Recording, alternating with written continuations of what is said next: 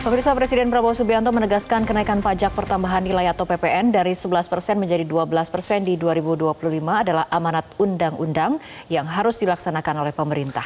Dalam waktu dekat, pemerintah segera memfinalkan jenis barang mewah yang akan dikenai tarif PPN 12 persen.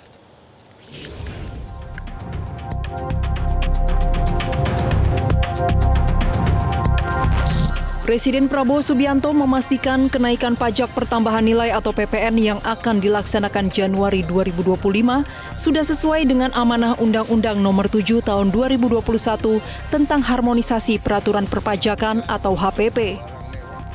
Namun PPN 12 persen akan berlaku untuk barang mewah.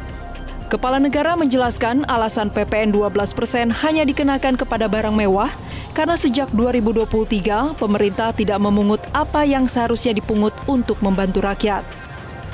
PPN adalah undang-undang yang kita akan laksanakan tapi selektif hanya untuk barang mewah untuk rakyat yang lain kita tetap lindungi sudah sejak akhir 23 pemerintah tidak memungut yang seharusnya dipungut untuk membela, membantu rakyat kecil.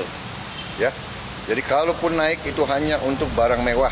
Terkait kebijakan kenaikan PPN menjadi 12 persen pada 1 Januari 2025, Ketua Komisi 11 DPR Muhammad Misbakun menjelaskan, DPR juga akan mengikuti undang-undang.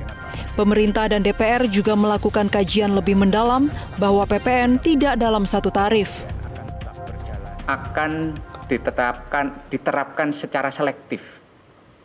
Selektif kepada beberapa komoditas baik itu barang dalam negeri maupun impor yang berkaitan dengan barang mewah. Barang mewah.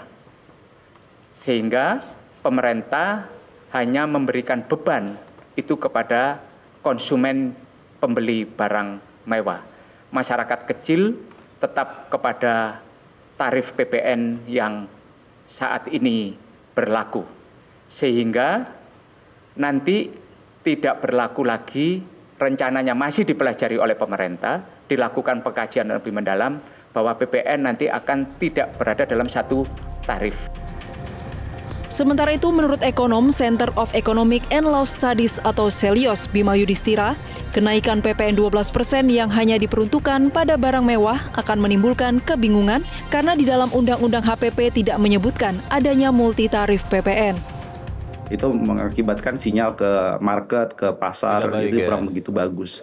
Tapi, Tapi akhirnya jadi kebingungan nih sekarang, uh, Mas Leo, yeah, karena yeah. PPN 12 persen untuk barang-barang mewah Sementara itu juga harus mengubah undang-undang HPP-nya juga, terutama di pasal 4.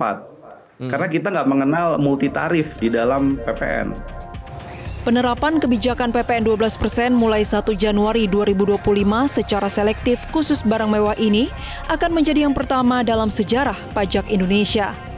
Tim Liputan Metro TV. Jelajahi cara baru mendapatkan informasi. Download Metro TV Extend sekarang.